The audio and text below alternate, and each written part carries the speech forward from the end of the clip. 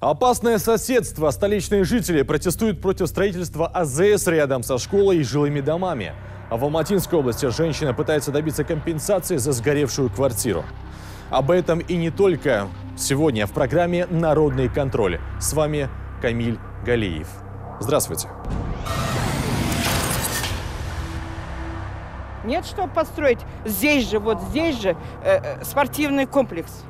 Рядом будут выходить и школы, и спортивный комплекс. Зачем оно нам это вот э, этот э, безобразие. безобразие, вот это э, колонки эти? Жители возмущены строительством автозаправочной станции в нескольких метрах от школы и домов. АЗС – это все-таки объект повышенной опасности. Родители в таком соседстве видят прямую угрозу жизни своих детей – их претензии выслушала мой коллега Дамир Галиев. Строительство заправки в самом центре Астаны. На пересечении улиц Валиханова и Тархана полным ходом идет уже несколько месяцев. За это время успели возвести стеклянное здание офиса, магазина и кафе. И уже со дня на день приступят к монтажу цистерн для бензина. И этот объект возводят буквально в десятки метров от 54-й школы и жилых домов. Понятно, что с таким опасным соседством ни родители школьников, ни жители домов мириться не намерены. Причем, что за объект возводят строители за забор, забором, люди узнали только сейчас. Паспорта стройки до этого не было. Была вывеска о том, что закрыт на ремонт дороги, поэтому никто не знал. Мы возмущены до предела тем, что э, дали разрешение на эту автозаправочную станцию рядом со школой, у которой большое количество детей, дети маленькие. Будет риск того, что будет проезжать много машин. Дети подвергаются опасности, которая будет исходить из этой автозаправочной станции. На время строительных работ заложниками стали жители соседних частных домов. Последние месяцы они буквально живут на стройплощадке и отрезаны от мира. Получилось, что мы живем внутри стройки. Ага. Получается, а они нам говорили, здесь, говорит, мы вообще ничего трогать не будем. Проезд, заезд, говорит. Все так и оставим. В результате получается, что туда на 10 метров ушли, в ту сторону. Но мы все отказались. Вы сами поймите, школа рядом, частный дом, топится печка, искры, пары газа. Вот она, будущая АЗС, и уже буквально в 10 метрах находится жилой дом, в котором, кстати, живут три семьи. Строительство не останавливается ни на минуту. Техника грохочет едва ли не круглые сутки. По словам жильцов, мебель в доме буквально живет своей жизнью. А ведь в доме много детей.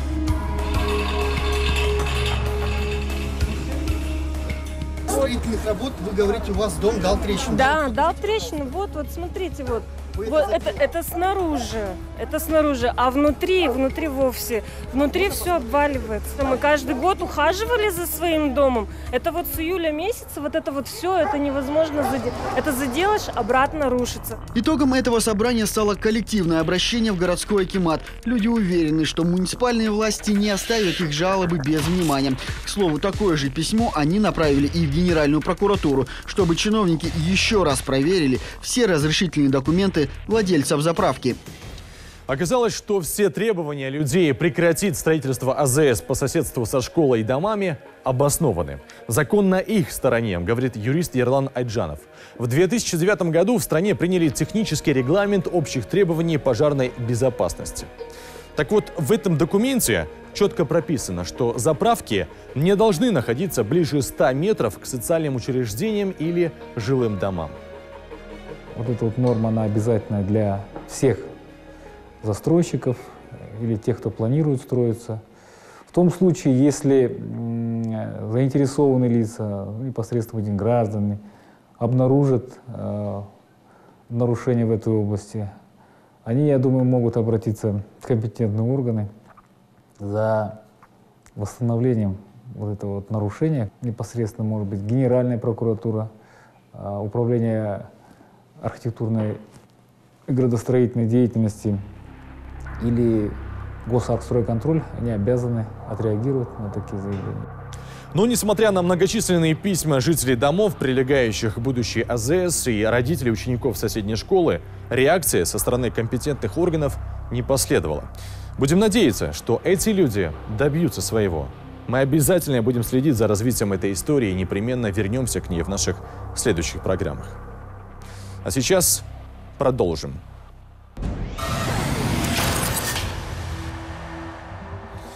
Казахстанцы жалуются на навязчивую рекламу. Их беспокоят различные компании, которые ежедневно звонят и отправляют смс-сообщения рекламного характера. Пользователи интернета считают, что сотовые операторы продают абонентскую базу. Мой коллега Амир Саминбетов выяснил, так ли это на самом деле. Алло, да, здравствуйте. Туф, нет. м-м. Спасибо, не надо. Раздражает, достали уже. Вот целыми днями беспокоит меня. Вот как можно от них отписаться? Не знаю. Асель Нурбекыза – организатор детских праздников. Ее график расписан не по часам, а по минутам. Девушка жалуется, ежедневно ей на телефон приходят различные сообщения рекламного характера, которые сильно отвлекают от работы. Меня беспокоят вот такие вот смски, звонки, и это честно раздражает. Я всегда занята, вот даже вот приходят смс, сейчас я вам даже прочитаю, про что они мне тут отправили. Вот, установи газ со скидкой всего за столько-то тенге. Ну зачем мне это? Мне этого не нужно. У Асель два телефона – рабочий и личный. Последний только для родных и исключительно по важным вопросам. Поэтому, когда звонят на этот номер, она все бросает и спешит ответить. Однако в последнее время и на него участили звонки от различных компаний, которые предлагают непонятные услуги. Куда обращаться с жалобой бизнес-вумен не знает. Оказалось, что с такой проблемой сталкиваются многие. Они каждый день звонят, раздражают они. Э, Я бы хотел, чтобы они не звонили и не писали. Названивают нет, а смс приходят. Квартиры предлагают, офисы. Ну, я прочитаю и убираю, и все. А сколько в день смс приходит? Но мне немного, смс 2-3. Да надоедает в день по 20 раз приходит. Как вы к этому относитесь вообще? Ну а что сделаешь? Приходят, приходят, удаляешь просто и все. Алло. Здравствуйте. Нет, спасибо, не интересует.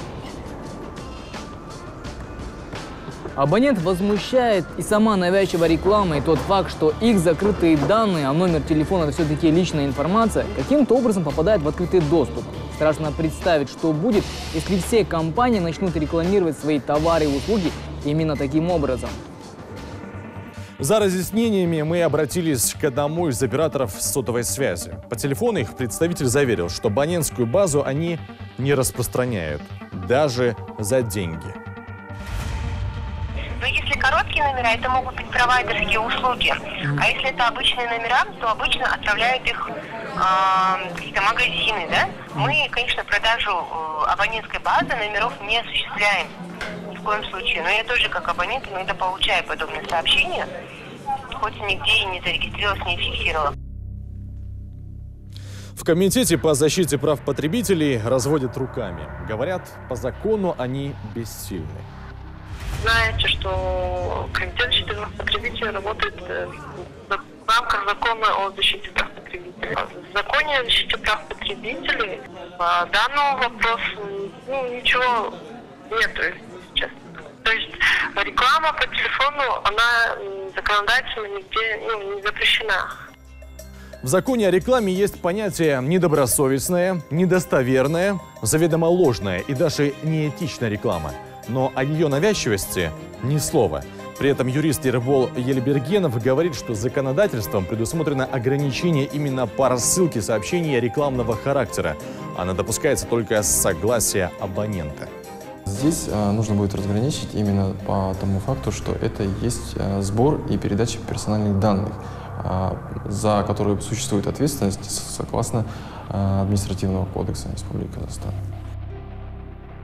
Вот только кого конкретно в данном случае можно привлекать к ответственности? Мобильного оператора, навязчивую компанию или посредников, которые якобы торгуют абонентскими базами, непонятно.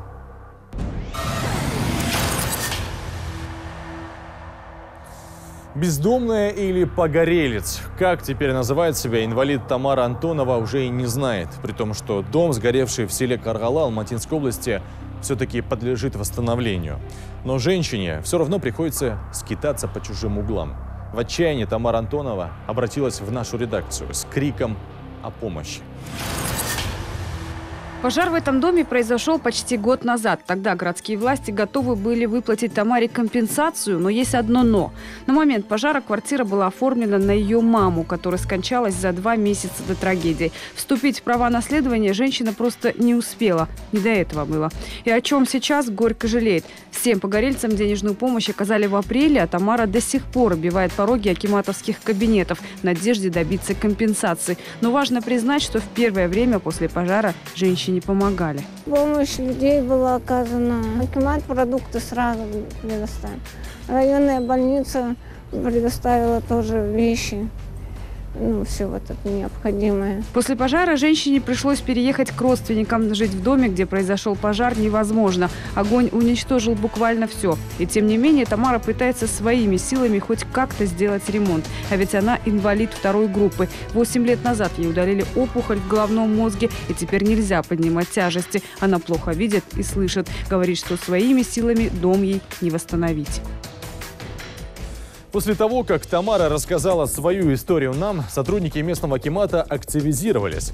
Отремонтировали крышу и даже больше. За несколько дней до приезда съемочной группы Каргале Тамаре местные власти поставили пластиковые окна. Вот сейчас летом мы закрыли крышу, кровлю. Помогаем сейчас, э, внешнюю штукатурку закончили. Теперь вот внутренние окна поставили. Дай бог, в ближайшее время уже Тамара, может, зайдет отремонтированный дом. Но оказалось, радоваться рано. Только наша съемочная группа уехала, как бригада рабочих, направленная Акиматом, тут же прекратила свою работу. Об этом позже нам рассказала наша героиня по телефону. Конечно, она благодарна и за этот труд, но в сгоревшей квартире так много еще предстоит сделать, а своими силами одинокая женщина-инвалиду просто не справится. Все, кто готов помочь Тамаре Антоновой, мы сообщаем номер телефона, куда можно позвонить и узнать, куда же направить средства на восстановление квартиры.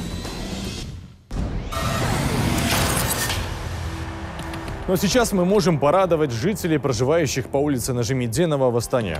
В одной из прошлых программ мы рассказывали, как им тяжело добираться до детского сада. Нет дороги, нет светофоров, открыты люки.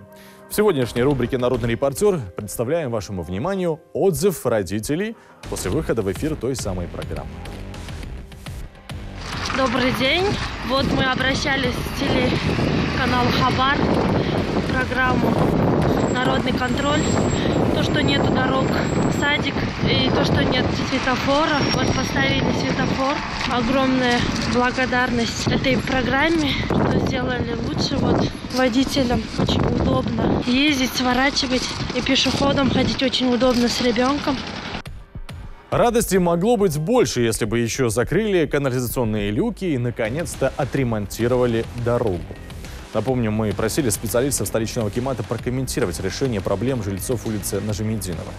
Но на наше письмо так никто и не ответил. А вот еще одно видео от наших телезрителей, правда уже менее оптимистичное. Житель столицы прислал устрашающие кадры. Мертвая рыба в одном из водоемов. К слову, поблизости нет крупных промышленных объектов, от которых могла бы исходить угроза. Зато рядом жилые дома и спортивные комплексы. Лежит в воде. О, вся дохлая. Вон даже чайки дохнут. Это грибной канал. Вот мостик наш. Это по всей реке вот одна дохлая рыба. Пожалуйста. Вот так она сейчас впадает и шип. Что же происходит с местной рыбой? Может, все-таки опасения нашего телезрителя излишние, и это просто чья-то не совсем удачная шутка? Давайте узнаем.